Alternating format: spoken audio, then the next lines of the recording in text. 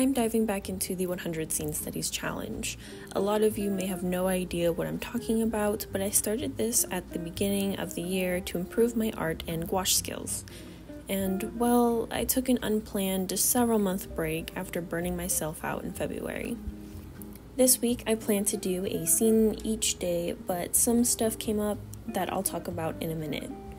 The last video I made in this series made me realize I was going about this challenge in the wrong mindset. My intentions were to attempt to copy the scenes, and if it wasn't perfect, I'd beat myself up over it. Clearly, that was the root of my spiral and created some negative emotions that I've since attached to gouache. I've since shifted my mindset to focus more on enjoying the process again, which has been much more pleasant. I have quite a bit of anxiety when I use gouache now, but I can't let that stop me. I only got one scene done this week. I plan to do more next week.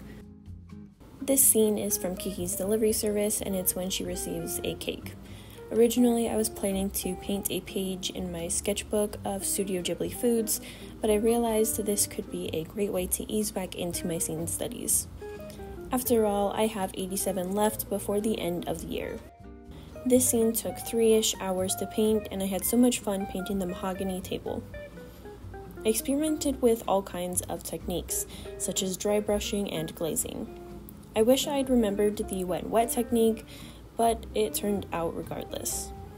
I loved painting the doily, even though it was a bit stressful to figure out how to paint. And of course, the cake turned out good.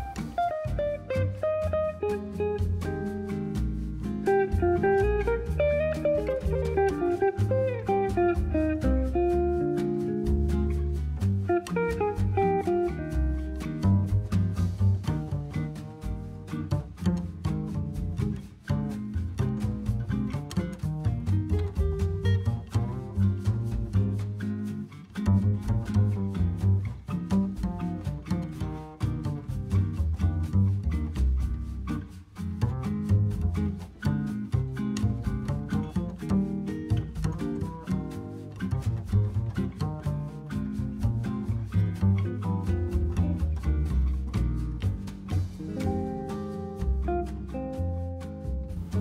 There were a lot of mistakes, but throughout the whole process, I didn't let it bother me and had a lot of fun despite a new injury.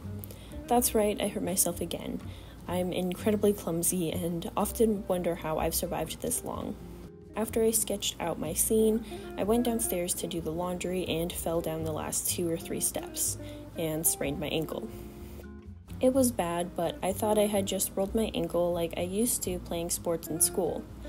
In hindsight, that was dumb because when it happened, I was in so much pain I couldn't stand for at least 5 to 10 minutes. In spite of that injury, I still went to do laundry.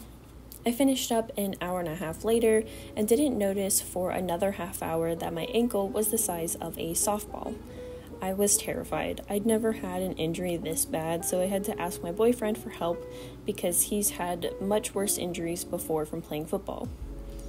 Then we had already planned a two day trip to visit my family the following day. So once I took care of icing my foot, I painted the scene and was down for the count for the next four days.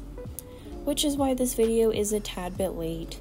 I wasn't going to upload this week, but I finally got momentum back in my work and I wasn't going to let anything stop me.